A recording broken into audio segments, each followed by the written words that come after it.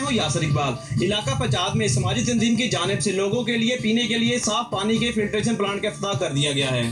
راجن پور کے علاقہ پچاد کا زیر زمین پانی کڑوا ہونے کی وجہ سے لوگ نہری پانی کو تالابوں کی شکل میں جمع کر کے پیتے ہیں۔ لوگوں کی ضرورت کو دیکھتے ہوئے سماجی تنظیم سنگتانی نے جاپان کے تعاون سے چک شکاری میں نو bio sand water filtration plant لگائے، جس کا افتتاح ڈی سی او راجن پور ظہور حسین گجر نے کیا۔ ان کے ہمراہ اے ڈی سی عبد الفتح ہولیو سنگتانی وومن ڈیولپمنٹ آرگنائزیشن کی نرجس بطور پروگرام مینیجر سفتین جسکانی کے علاوہ دیگر افسران موجود تھے۔ چار سال پہلے ہم نے ایک یہاں پہ نیڈ اسیسمنٹ لانچ کی تھی اور اس نیڈ اسیسمنٹ کے مطابق فرسٹ پرائرٹی نیڈ جو ہے وہ یہاں کے لوگوں کی وہ صاف پانی کی فراہمی ہمیں نظر آئی۔ انسان کا بنیادی حق ہے کہ اس کو صاف پینے کا پانی ریاست فراہم کرے۔ تو ریاست کے ساتھ ساتھ ایسے ادارے بھی یہ بڑا نوبل کاز ہے اور ان سے ریکویسٹ ہوگی کہ اس کو کنٹینیو بھی کریں۔